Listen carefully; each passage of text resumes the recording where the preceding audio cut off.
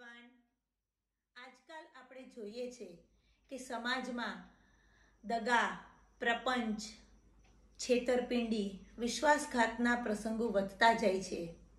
અને ત્યારે આપણને એવું લાગે કે ખરેખર કળિયુગનો વાયરો વાય છે.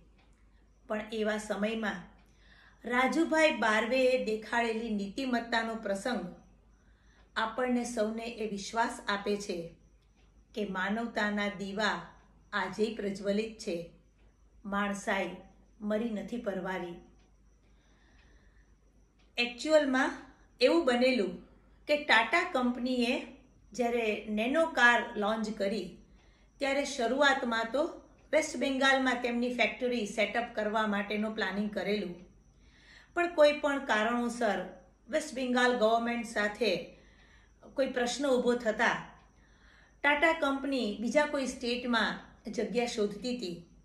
એ વખતે ગુજરાતના આપણા સીએમ નરેન્દ્રભાઈ મોદીએ ટાટા કંપની માટે રેડ કાર્પેટ પાથરી દીધી અને ટાટા કંપનીએ અમદાવાદથી ચાલીસ કિલોમીટર દૂર આવેલા સાણંદ જિલ્લામાં પોતાની ફેક્ટરી સેટઅપ કરવા માટે જગ્યા પસંદ કરી. ગવર્મેન્ટે જે જગ્યા ફાળવેલી હતી, એ જગ્યા ફેક્ટરી સેટઅપ કરવા માટે પૂરતી નહોતી. એટલે ટાટા કંપનીએ આજુબાજુના જે જમીનના પ્રાઇવેટ ઓનર્સ હતા, એમનો સંપર્ક કરવાનું ચાલુ કર્યો અને એમની પાસેથી જમીન ખરીદવા માંડી.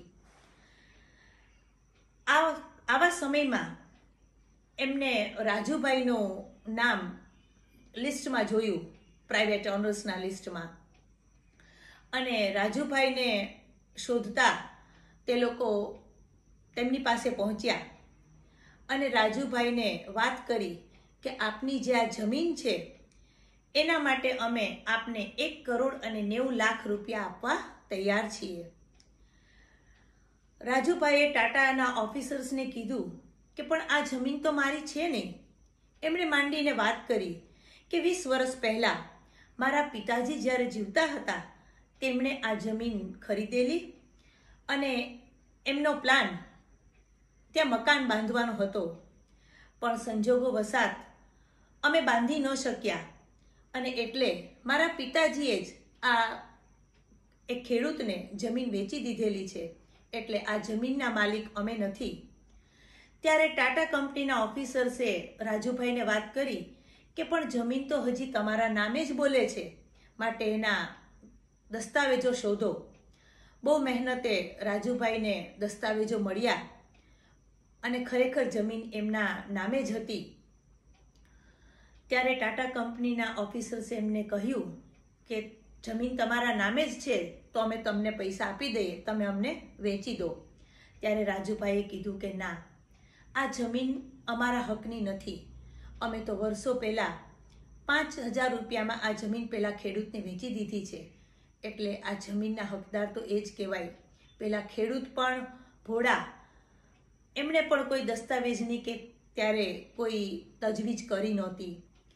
પણ રાજુભાઈએ ટાટા કંપનીના ઓફિસર્સને રિક્વેસ્ટ કરી કે તમે મને આઠેક દિવસનો સમય આપો, તો હું આ મારા નામના કાગળિયા છે એ પેલા ખેડૂતભાઈના નામે ટ્રાન્સફર કરી દઉં.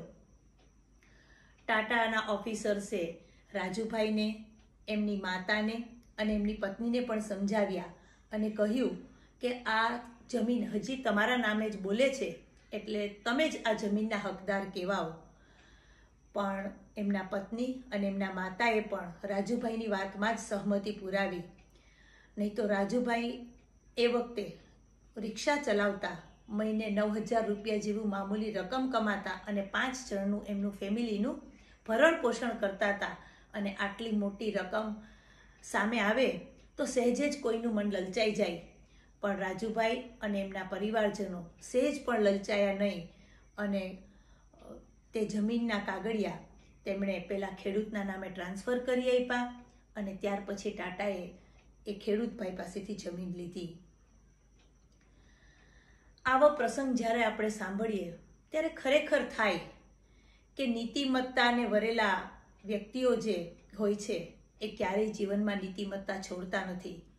ટાટા કંપનીના ઓફિસર્સ પણ રાજુભાઈ પર ખૂબ ખુશ થયા અને એમણે લગભગ છસો જેટલા એનસીસી કેન્ડિડેટ્સને ભેગા કર્યા અને એક મિટિંગનું આયોજન કર્યું અને એમાં ખાસ રાજુભાઈને બોલાવ્યા, રાજુભાઈને સ્પીચ આપવા કહ્યું અને રાજુભાઈને સન્માન કર્યું. મિત્રો, આ સ્ટોરી મને પણ વોટ્સએપમાં ફોરવર્ડ થયેલી છે. I haven't verified I'm not sure whether it is real or not, but definitely it gives us an inspiration to maintain our moral values. Hope you all must have enjoyed it. If yes, a humble request to like, share and subscribe. Thank you.